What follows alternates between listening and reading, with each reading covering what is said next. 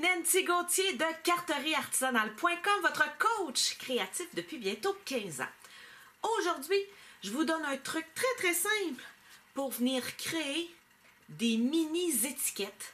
Alors si vous avez euh, envie d'avoir ce look-là très linéaire et très droit et vous vous retrouvez toujours avec je dirais, euh, deux lignes non parallèles, je vous donne des trucs à utiliser avec votre planche à découper.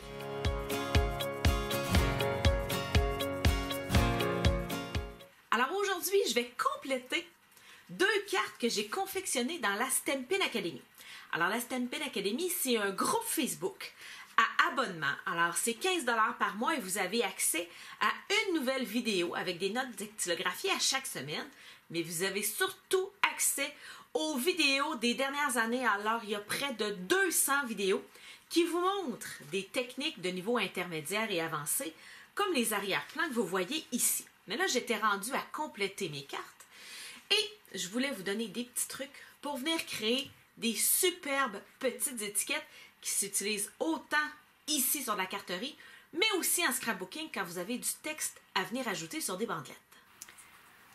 Alors, pour faire une belle petite étiquette mince, vous devez vous souvenir qu'il faut vous en étamper plus qu'une. Alors, prenez votre temperatus et venez utiliser la fonction multiple, je dirais. Alors, vous allez venir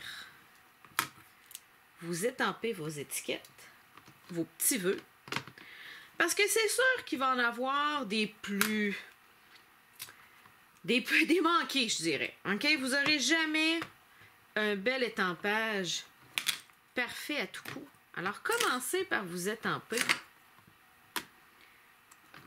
plusieurs vœux. Alors, pour vous donner une idée, j'en avais déjà fait quatre et j'en ai quatre autres. Alors, j'en aurais fait seulement quatre. Je voulais simplement vous montrer que même moi, c'est pas parfait. J'ai des mots plus écrasés. J'appuie trop fort.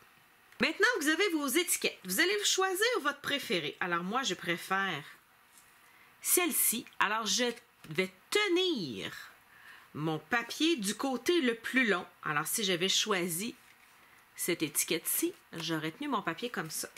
Alors, le but est d'avoir le plus de dextérité possible avec un grand bout de papier. Et ensuite, vous allez venir insérer votre carton jusqu'à ce que le bord de votre vœu s'aligne avec le bord du trou juste ici.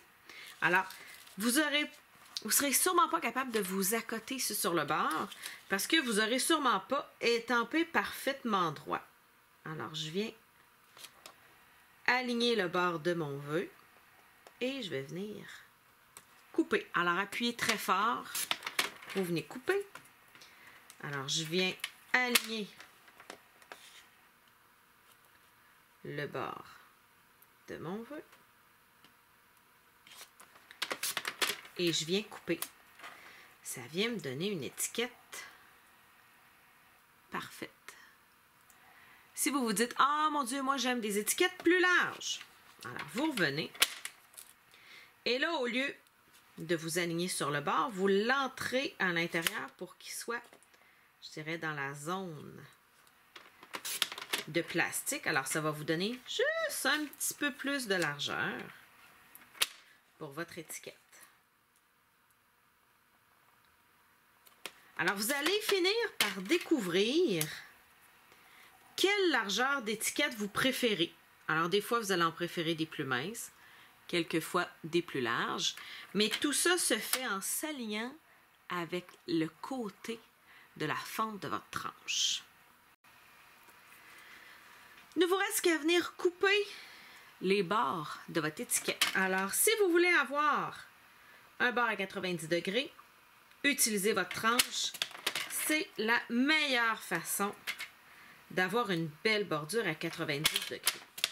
Mais si vous voulez avoir une bordure à angle, alors je vous invite à prendre vos ciseaux et là, simplement y aller à main levée. J'espère que j'ai pu vous aider. Un petit mot en passant. Le superbe gâteau de fête que vous voyez ici, c'est un jeu d'étampes célébration. Alors, c'est un jeu d'étampes gratuit que vous obtenez avec un achat de 60 d'ici le 31 mars.